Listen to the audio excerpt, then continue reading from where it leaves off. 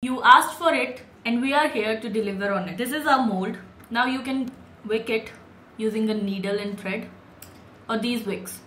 Turn the mold upside down, take your needle and pierce the center of the mold, taking it out on the other side. Leave about 1 inch of the wick outside the mold, some here and give it a cut. Now you can use this wick as well. To add this sort of wick, you need to pierce a hole in the center.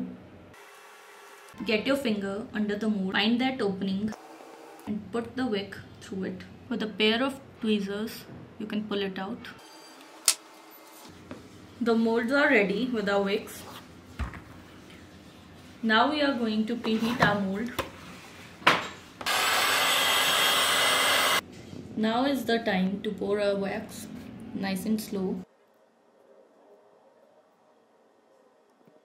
If you see air bubbles, just gently tap the sides of the mold to pop them.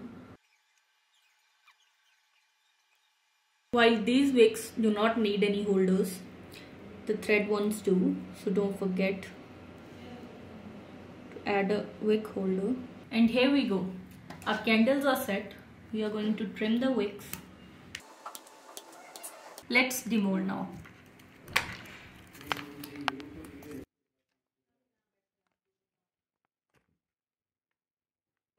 And here is your batch of tiny bubble candles.